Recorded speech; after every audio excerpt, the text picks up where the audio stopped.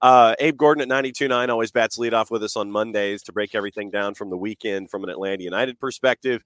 So, uh, welcome to the chaos that is Leagues Cup. It is it was very Leagues Cupish. Uh, you know, we we've kind of converted it into its own adjective and predicate noun now, where there is moments of there are moments of chaos and there are matches of chaos, and then you just have some that are just mind-numbingly double zero goals and you're wishing that you could get 90 minutes plus a shootout back. But Atlanta United did not give you mind numbing behavior. They went to straight to the chaos in match number one.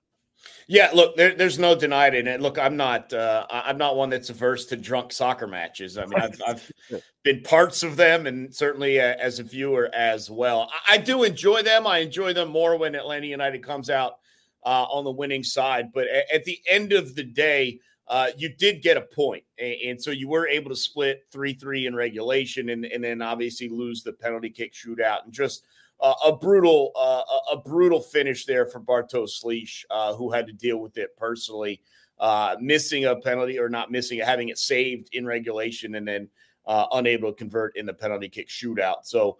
you do give up two points to one point, but you're still right in it. You pretty much control your own destiny. Is is where we're at. If you handle business, uh, you know, against Santos on Sunday, you can still advance in this thing. And it's a very forgiving tournament. So we'll see what happens midweek between Santos and DC United uh, in a game that's now being played in, in Chester, PA. Uh, yeah, not a great look there for DC United. But look, it, eh, there was some good and some bad. And that's what's going to happen often when a game results in a, and we'll call it a high scoring draw. Uh, look, you're still dealing with the same issues and you're still being punished for the same issues. And the amount of mistakes that you have made this season in your final third that has directly, almost immediately in all, all situations, turned into a goal for the opponent is unforgivable. It, it's something that has needed to be cleaned up and continues to be an issue. And so this one was off the boot of Josh Cohen. It, it, was a very poor clearance. It was, to be fair, it was mishit. It wasn't poorly intentioned. It was a mishit ball. Uh, but you you get punished for it immediately and go down one nothing and you fight fight as this team has done all year by the way you fight scratch and claw your way back uh, into a, a situation where you can get a draw. Again, you had opportunities to take the lead in this one if you hit a couple of penalty kicks and and, and uh, do do that thing. But so you go to the PK shootout and all that. But look, it's just setting up a pretty wild tournament, uh, and, and it's it's always wild when you're getting MLS and Liga MX squads. It's always wild when there's that many teams heading to a knockout stage. I mean, again, this is a round of 32 that you're trying to qualify, not just quarterfinal round of 16, none of that stuff. It is 32 teams advancing. And so it's a very forgiving tournament. You're still in an okay position because you at least got the one point out of the draw.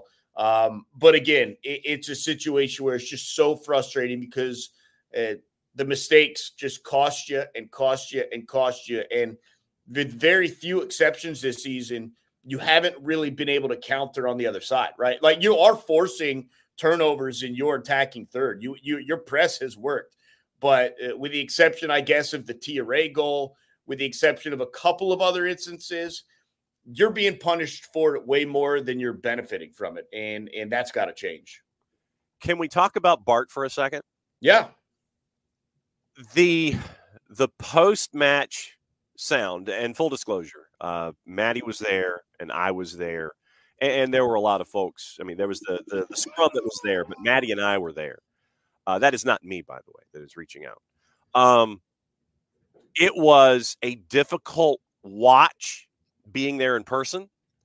It was a difficult listen, both in person and the second time.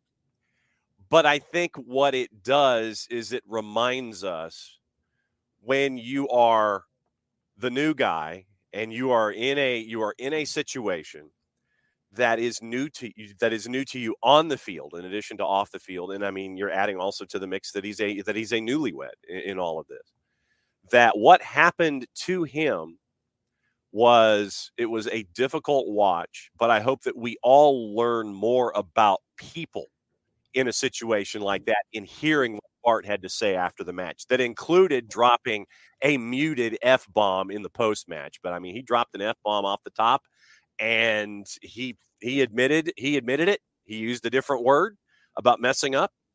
But I think it reminds us about how human these guys are and how mm-hmm. human are in these new situations. Well, there's a couple of things at play here, and the first one in regards to to Slisz is that these are mistakes that athletes make, um, and, and, it happens to the best of the the players in the world. I, I mean, we are, I mean, how many weeks away from watching Cristiano Ronaldo cry over a, a penalty kick that he didn't convert? Well, no, I, I, mean, look, the emotions are real, and certainly the tensions were different, and the stage was a little bit different. But we're talking about Bartosz Slisz, and we've seen Lionel Messi had one saved recently. We've seen Cristiano Ronaldo had one saved recently. Uh, and these are moments that happen when, when you're put in these situations. Um, and, and it, it's, it, it is like the human side of it to see how tough he takes it uh, and how much it means to him. Even if it's not at the stage that Ronaldo's was, um, you can tell it bothers him. Yeah. You can tell he's impacted from it. Here's the thing we need him to find a way to not be impacted from it be, be, because mentally he needs to be in the game in those moments. And, and this is not the first time we've seen Slisz make a mistake and it's taken him time to recover. Uh, now, at least in this instance, that second penalty kick was not in the run of play, it, you know, and he's got a week to kind of recover that mindset. Um, but this team still needs Bartosz Slisz. Like, let's not get it twisted. There are frustrating moments, but he's been integral for for what this team has been able to do on both sides of the ball this year. And so, for him, it's tough. I mean, it's really tough. And obviously, by the placement in the PD uh, penalty kick lineup, they tried to bury him. Yeah. Um, let's just call it what it was. They tried to bury him. You had a couple of other takers that were still available, right? Amador, like Stian, Pedro, Josh. I mean, that's where and, and Ronald Hernandez was the yeah, other one. And, and you so you were down to it. You, you went into sudden death, and you had you had already rolled through half of your roster uh, before getting there, and, and it's just tough. Uh, he was not in a good place mentally to take that second kick. I think you could probably see that by the design and the plan on that second kick. Um, but yeah, I, I mean, I, look, it's not fun to watch a guy have a penalty kick saved. It's not fun because, especially in game, I, I mean, first off, they didn't even call the penalty originally, which yeah. is, is is wild. I was sitting there with you uh, before I, I went back to my booth. I, I like, dude, like there's a full arm extension with a turn of the body. Like it's the easiest call in the world. I don't know how it's not made live. They did get it right ultimately, eventually. Yeah. But the the difference between that is when the crowd reacts when you have that moment and you think you're tying the game or you think you're taking the lead, yeah. whatever the situation may be, and then it doesn't happen. It is it is just the bottom falls out emotionally. And so it's a little bit different in game than it is in a penalty shootout. But look, uh, I, I, mean, you play enough of these things, you're going to have kicks saved. Uh, the confidence is is a little a little weak right now for Bartosz Slisz, at least from the penalty spot. But he's got to pick himself back up. The team's got to pick himself back up. And here's the thing, and we've seen it from time to time with sports. I think we've seen it from the Atlanta United fan base. They've got to pick them up too, and, and I think that's the important thing. And look, let's be honest. For the most part, I haven't seen a lot of yelling from the fans from the 17s about Slisz this, Slisz that. I can't. No, they've been relatively supportive, and it needs to remain that way be, be, because that's what he needs, not just from his teammates, not just from the staff, but from the fans too. And, and when when someone's going through it in this manner, and it's one thing for you to be critical when a guy doesn't seem to care, right? That's the important thing. If a guy screws up and he's like, whatever, I'm a pro soccer player, blah, blah, blah. It's just a game. That's not how Bartek Slisz is acting. These are really troubling moments to him. They are really impacting him Uh, and it's up to all of us, fans included, uh, to help get him through it, to help lift his spirits because he absolutely deserves it with how uh, impactful he's been for the team this year. Yeah, and I thought it was key in the early stages of this where basically Brad Guzan, after the, the penalty kick miss and sudden death, Brad Guzan basically sprinted to Bartosz Slisz and was one of the first guys to sit there and talk to him. And so the the players themselves on the roster, you know that they're going to continue to to put their arm around him, put be in his ear, make sure to to remind him about all these things because with the last couple of matches where we've seen Bart uh, work his way forward as a part of almost like a 4-1-4-1 and see him jump into the play and be more engaged, he's creating issues for the opposition on defense trying to account for numbers and things. And so the the the idea that he is he's helping out in the the offensive push is part and parcel to his evolution that we've seen so far this year. Yeah, and there's no doubt about it. And the one thing that he needs to to continue to do that while also being impactful defensively is not being his own head. He can't be thinking about what he's and you'll say this about any athlete. Like most of these top athletes, yes, there is some thought, but so much of it is just unconscious processing and just reacting to what your body and your brain is telling you to do without thinking about what your body and brain should be telling you to do. And, and we got to make sure he's not in his own head. And, and that's what's important.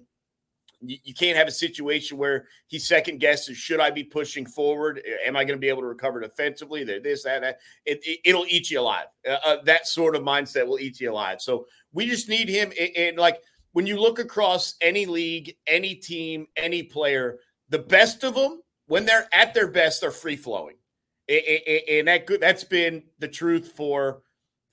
I mean, however many years soccer has been played, the more free you are on the field as an individual, as a team, uh, the better you're likely to be.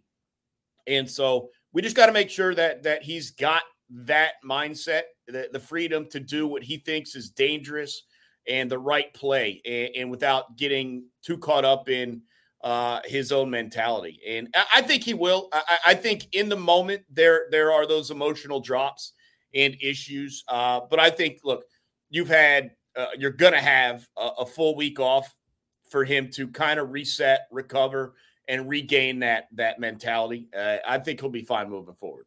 In the three three draw, what else stood out to you uh, against Saba? Always Saba. Uh, Saba just continues to be incredibly impressive and uh, Rios as well. Uh, I, I, just when I look at what you've lost off of this team in regards to your 10 and your nine, and for a long stretch, and we're still asking, and I'm still going to ask it, but where are the goals coming from? How are they getting created? I think Saba has really stepped up. There's no secret there. He's been incredibly dangerous. He he he works his tail off. He runs a ton. Um, but he's also looking to get inside that box and be dangerous. Uh, and then Rios, just for, for whatever it is, I, I never thought that he was going to be the goal scorer that he's become. And he does it differently than than a lot of the top goal scorers in this league. There's no denying that. Um, but I mean, look, one of the things about being a good striker is being at the right place at the right time, um, working hard, putting in that extra, t- whatever it is to get some ugly goals. And quite frankly, uh, not all of them have been ugly, but quite frankly, some of them are ugly goals. But that doesn't make you a, a bad striker. I think it's quite the opposite. I think that there's a talent to knowing where to be and what time to be there inside the box. And and it, that's one thing you certainly can't take away. I did not think that Rios is going to come in and pretty much tally a goal per game essentially over over over the last eight, ten games, whatever the number is. I mean, he's been very dangerous. Um, and a lot of that I do think has to do with Saba as well. All right. So, what's your week like before you head north and we catch up with you from the branch? Yeah, I, I mean, look, really tuned in on, uh, I believe it's Wednesday to that DC and Santos match, and just kind of interested to see what uh, what United's going to have in front of them. They'll they'll know on Wednesday night what they're going to need to do um, to advance against Santos at home uh, there on Sunday. But there's another cool opportunity here for for Atlanta United fans, and that is on Saturday night, the twos. Uh, they're going to be broadcast live on 92.9 The Game. So Um, 8 p.m. with I think an 8:30 kickoff. Uh, we've got MLS Next Action uh, coming your way on 92.9 The Game. I, I, believe this is the first time that it's happened. Certainly the first time this season. Um, and so that that's really cool. Uh, and, and that's something we you know we kind of talk about a number of these players. We've seen some of them in U.S. Open Cup, but um, you know it, you don't always have an opportunity necessarily uh, while you're driving. I know you guys do a lot of great stuff with them as well, but you know, clickable links. Uh, but but it, this one's going to be right there on the radio, and so it should be uh, it should be a fun one going against uh, I think it's New England on yep. Saturday night. So that one's going to pop at eight o'clock, and then we're all going to turn around and, and get ready for uh, for Santos. And just remember that's a that's an afternoon game on Sunday, three p.m. Right. pregame, four p.m. kickoff, and so um, that one's going to be fun. That one's going to be really fun. And look, we we're, we're going to know what we need to do to advance. And you're either going to be chasing something or holding on to something. I mean, you're going to know. And in those situations, those type of group stage games where you're like, we need to win, but it needs to be by this many goals, or we need to to to lo- draw or a loss, but only a one goal. I mean, just the situations can get real interesting in the second half if you know you need to tally more or, or stuff like that. So, uh, really looking forward to that. That can be very fun. Yep, no doubt about it. Very full week. All right, enjoy your time, my friend. We'll catch up with you next week. You got it. Appreciate it, John.